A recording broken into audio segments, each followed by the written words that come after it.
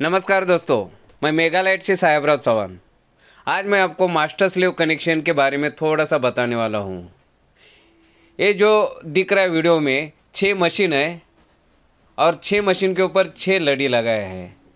पहला मास्टर है और बाकी का पाँच स्लेव मशीन है।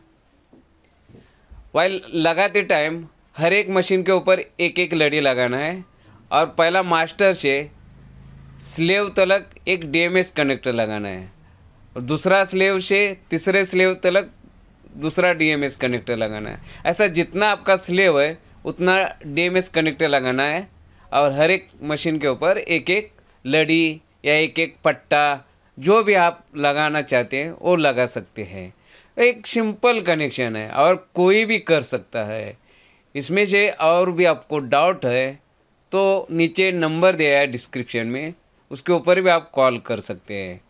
और ये हमारा चैनल सब्सक्राइब नहीं किया होगा तो सब्सक्राइब कीजिए और बाजू में बेल आइकॉन है, वो भी दबाना भूलना नहीं। Thank you.